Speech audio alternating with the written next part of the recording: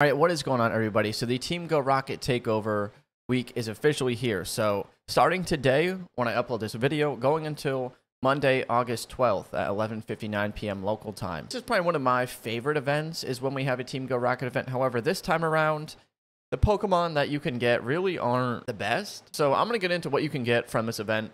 So starting off, we have Shadow Cresselia. So this is gonna be by battling Giovanni. The Pokemon that you can catch. We most recently had Shadow Groudon a lot of us were hoping it was going to be Shadow Rayquaza, but because the Rayquaza, maybe the Mega Rayquaza makeup event that we just had last weekend, that could be why they decided to skip Rayquaza. It would have been nice still to have Shadow Rayquaza, to be honest, but Shadow Cresselia is good for PvP. A lot of people like it for that. So, I mean, that's going to be there. So, in order to get that, you have to battle Giovanni. Now, how do you battle Giovanni? You have to have a Super Rocket Radar.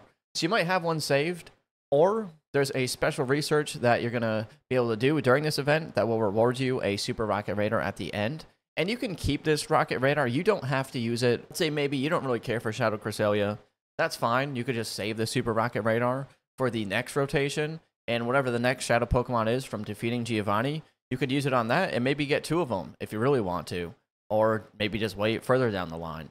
Up to you. So in raids, we're going to have a raid weekend from August 10th on Saturday to Sunday, August 11th.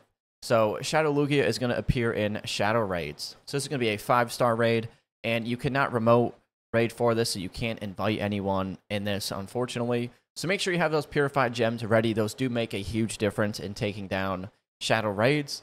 Maybe try to get a meetup going on Campfire or going to Discord or wherever you go for your groups to find people to raid with, because you definitely want to have people to do this raid with. It also can be shiny, so you can get that shiny Shadow Lugia during this event. During this event as well, we're going to have increased spawns of Team Go Rocket at Pokestops as well as balloons.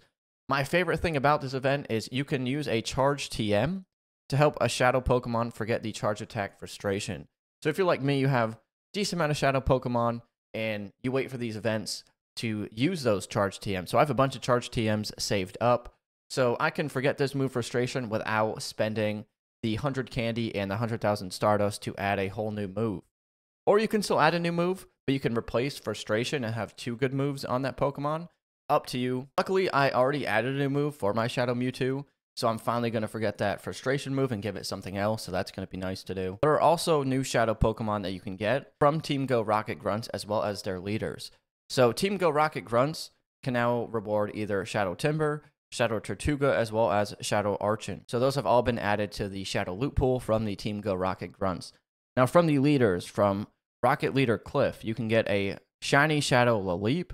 From Sierra, you can get a Shiny Shadow Carvanha, as well as Arlo, you can get a Shiny Shadow Anorith. Now, it's not guaranteed to be shiny, obviously. Also on raids, so in one-star raids, we have Shadow Mareep, Shadow Wooper, Shadow Cranidos, and Shadow Shieldon.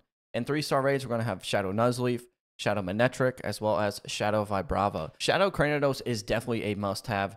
The Sh uh, Shadow Rampardos is one of the best attacking Pokemon for raids in the game, so you definitely want to get that Shadow Cranidos. I know I'm definitely going to try to get a couple extras from these one-star raids, so I'm looking forward to that. We also have the Event Field Research Task Rewards during this. We can get some Mystery Components, Charge TMs, as well as Fast TMs. There's some bundles that you can buy as well during this event.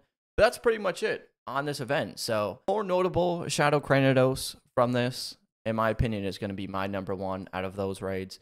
We have the three different Shadow Pokemon that you can get from Team Go Rocket Grunts that are being added on top of the other ones that you can get already. We have the Team Go Rocket Leader Shadow Pokemon that you can get, which, once again, I'm not that excited about. And then we have Shadow Cresselia and the Shadow Lugia raid weekend this weekend. So I'm probably going to make a vlog on the Shadow Lugia stuff. That is it for the Team Go Rocket event. Let me know if you're excited for this. Are you going to be playing starting today, going into the weekend? Are you going to do these Shadow Lugia raids? Let me know in the comments down below what you think on this. Make sure you're subscribed. We're getting close to a thousand subscribers on this channel. Appreciate you all watching, and we'll see you in the next one. Bye,